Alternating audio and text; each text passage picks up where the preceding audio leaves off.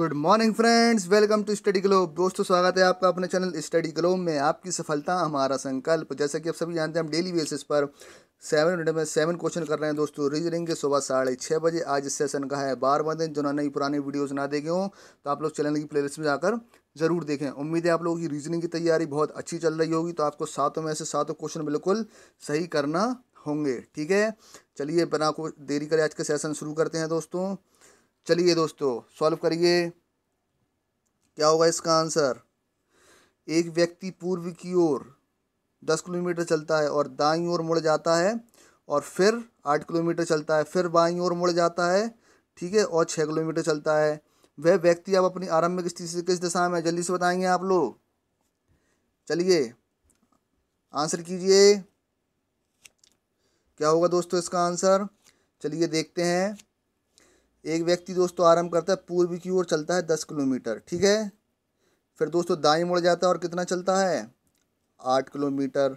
और फिर दोस्तों बाई मुड़ जाता है, कितना चलता है दोस्तों? छः किलोमीटर। अब प्रारंभिक स्थिति से दोस्तों किस दिशा में है? जल्दी से बताएँगे आप लोग।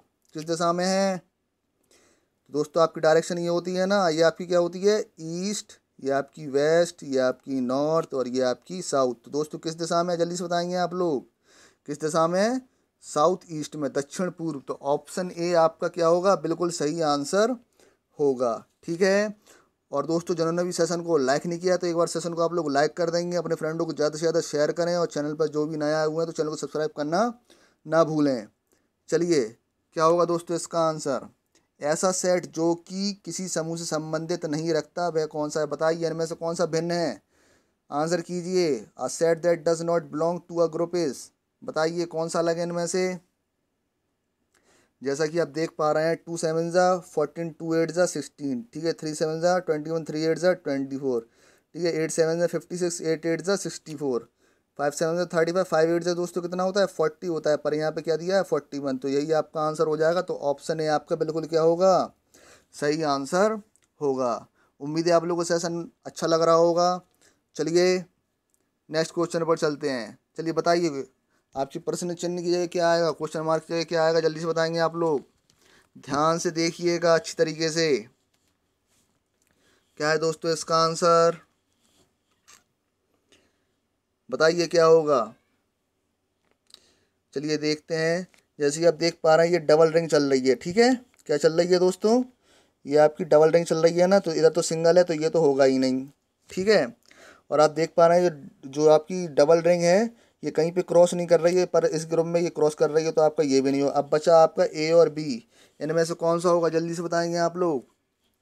कौन सा होगा दोस्तों? तो आपका आंसर हो जाएगा इसमें से ए ठीक है? ये भी नहीं होगा, क्योंकि इधर पे क्या बन रही है? सिंगल लाइन बन रही है। पर यहाँ पर क्या बनेगी दोस्तों? आपकी डबल बनेगी। ठीक है? तो ए आपका कौन से ऑप्शन में है दोस्तों? डी तो ऑप्शन डी आपका बिल्कुल सही आंसर होगा। ठीक है? चलिए नेक्स्ट क्वेश्चन पर चलते हैं। चलिए बताइए दोस्तों, आपका कथन और निष्कर्ष का क्वेश्चन है सॉल्व करिए इसको। धोनी एक अच्छा बल्लेबाज है। बल्लेबाज होशियार होते हैं।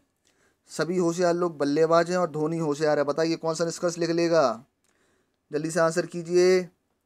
यह आपका ग्रुप डी में आया हुआ क्वेश्चन है दोस्तों। चलिए बताइए क्या होगा इसका आंसर ग्रुप डी 2018 में। चलिए आंसर कीजिए क्या होगा इसका। ध्यान से करिएगा। चलिए देखते हैं। ठीक है दोस्तों डायग्राम से करते हैं। ये आपके धोनी है। धोनी क्या है दोस्तों? एक अच्छे बल्लेबाज हैं। ठीक है गुड बैट्समैन है। ठीक है, और सभी बल्लेबाज कैसे होते हैं दोस्तों? होशियार होते हैं इंटेलिजेंट होते हैं। ठीक है, ये आपका ग्राफ बन गया। ठीक है अब उनने क्या कहा है निष्कर्ष कंक्लूजन में? सभी होशियार लोग बल्लेबाज हैं। क्या सभी होशियार लोग बल्लेबाज हो रहे हैं दोस्तों? नहीं हो रहे हैं। ठीक है तो आपका पहला निष्कर्ष क्या होगा दोस्तों? गलत हो जाएगा। धोनी होशियार है तो ध्यान रखिए, धोनी क्या है, होशियार है, ये बिल्कुल सही है। सारे होशियार होशियारों के अंदर दोस्तों क्या आ रहा है, धोनी आ रहा है तो आपका क्या हो जाएगा? आपका दूसरा निष्कर्ष बिल्कुल सही हो जाएगा तो आपका आंसर हो जाएगा दोस्तों, ऑप्शन बी। ठीक है ओनली कंक्लूजन टू फॉलोज केवल निष्कर्ष दो अनुसरण करता है, ठीक है? चलिए नेक्स्ट क्वेश्चन पर चलते हैं। चलिए दोस्तों आंसर कीजिए इसका। उस विकल्प का चयन करें जो कि निम्नलिखित चित्र में त्रिकोणों की संख्या को दर्शाता है। चलिए ट्राइंगल काउंट करिए जल्दी जल्दी। आप लोग कितने ट्राई बनेंगे इसमें? आपके ट्राइंगल सॉल्व करिए। जल्दी से। क्या होगा इसका आंसर कितने बनेंगे त्रिकोण? बिल्कुल अच्छी तरीके से गिनिएगा। तो दोस्तों, ध्यान रखिएगा आप लोग। आपके जिस भी ट्राइंगल में दोस्तों, कितने बने आपके छः ट्राइंगल बने? One two three four five six तो आप लोग याद कर लीजिए, इसमें हमेशा दोस्तों, कितने बनेंगे आपके? सोलह ट्राइंगल बनेंगे। तो ऑप्शन सी आपका बिल्कुल सही आंसर होगा। ठीक है? चलिए आपकी तसल्ली के लिए काउंट करके भी गिनवा देते हैं। सोलह। ठीक है? चलिए देखते हैं। जैसा कि आपको पता होगा, जो इस तरीके से ट्राइंगल बनते हैं, दोस्तों, ये कितने बनाते हैं मिलकर टोटल तीन बनाते हैं। ठीक है? आपका एक ये एक ये और ये पूरा। इसी तरीके से देखिए इसमें कितने बन रहे हैं। ये आपके बन रहे हैं, ये पूरा एक, और ये दो मिला के तो तीन आपके इस तरीके से यहाँ बन रहे हैं, इसी तरीके से तीन आपके ये बन रहे हैं, इसी तरीके से तीन आपके क्या बन रहे हैं दोस्तों? ये बन रहे हैं दोस्तों, कितने बन गए आपने टोटल नौ बन गए, ठीक है, ध्यान रखिएगा कितने बन गए? नौ आपके बन चुके हैं, ठीक है। नौ के बाद ये देखिए, एक बन रहा है आपका दस, ये आपका ग्यारह, और ये पूरा बड़ा बन रहा है आपका बारह तो आपके कितने बन गए अभी तक टोटल दोस्तों? बारह ट्राइंगल हो गए। ठीक है, चलिए और काउंट करते हैं। चलिए और देखते हैं आपके बारह के बाद। ठीक है, बारह के बाद देखिए, एक तो ये बनना है आपका तेरह और एक ये बनना है आपका चौदह। ठीक है, दो आपके और बन गए हैं दोस्तों। और कौन सा बन रहा है? जल्दी से देखिए। और एक आपका ये बनना है, ध्यान से देखिएगा। एक आपका ये बनेगा और एक आपका ये बनेगा दो और बन गए दोस्तों तो टोटल आपके कितने हो गए हैं दोस्तों टोटल सिक्सटीन ठीक है?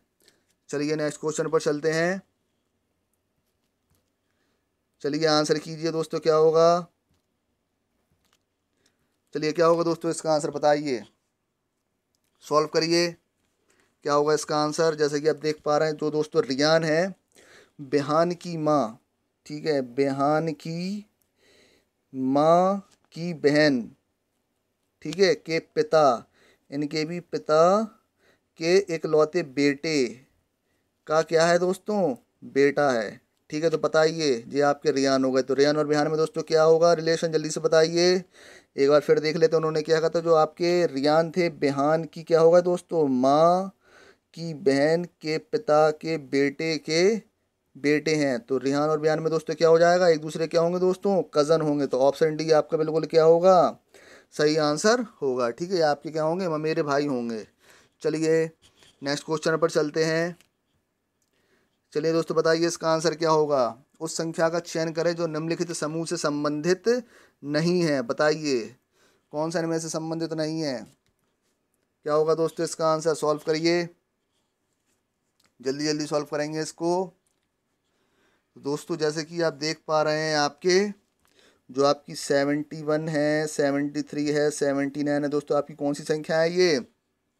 अभाज्य संख्याएँ हैं, ठीक है? ये किसी से भी नहीं कटेंगी, परंतु आपकी दोस्तों सेवेंटी सेवन क्या है? एक भाज्य संख्या है, ठीक है? तो आपका आंसर क्या हो जाएगा? ऑप्शन डी, सेवेंटी सेवन आपका क्या होगा? सही आंसर होगा। उम्मीद है आप लोगों को सेशन पसंद आया होगा दोस्तों, और आपको पीडीएफ के लिए टेलीग्राम चैनल ज्वाइन करें, जिसका लिंक आपको नीचे डिस्क्रिप्शन बॉक्स में मिल जाएगा दोस्तों। टेलीग्राम चैनल का नाम है स्टडी ग्लोब ठीक है दोस्तों? और दोस्तों, जिन्होंने भी सेशन को लाइक नहीं किया तो एक बार आप लोग सेशन को ज़्यादा से ज़्यादा लाइक करेंगे, अपने फ्रेंडों को शेयर करें, और जो भी चैनल पर नए आए हुए हैं तो चैनल को सब्सक्राइब करना ना भूलें दोस्तों, और बेल आइकन ज़रूर दबाएँ आने वाले नोटिफिकेशन के लिए। चलिए थैंक यू बाय दोस्तों।